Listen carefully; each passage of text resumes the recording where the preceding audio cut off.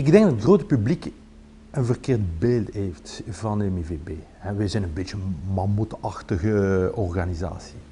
En om zeer eerlijk te zijn, het is wel waar geweest. Maar sinds een jaar of tien zijn we bezig met een ongelooflijk programma van transformatie van een bedrijf.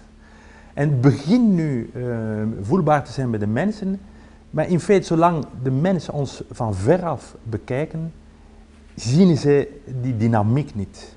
Daar het belang om zo dichtbij mogelijk de MIVB uh, te komen. In feite, we hebben alle voordelen van uh, de, een overheidsbedrijf.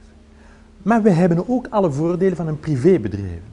En we doen ons best om de nadeel van geen van de twee te hebben. Wat bedoel ik? We zijn uiteraard een overheidsbedrijf. En dat brengt enorm veel voordelen. Lange termijn, geen obsessie voor de financiële markt, geen obsessie van trimestriële resultaat. We kunnen echt fantastisch project bouwen voor het algemene goed, voor, voor iedereen. Maar wij hebben ook het voordeel van een privébedrijf.